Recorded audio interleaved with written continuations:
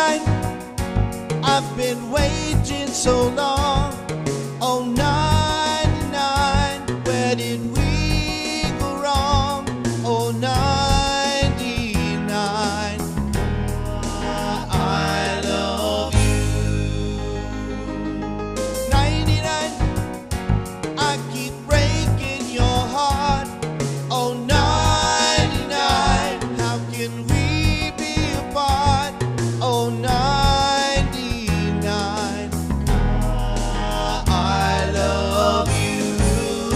I never thought it would happen. I feel quite the same.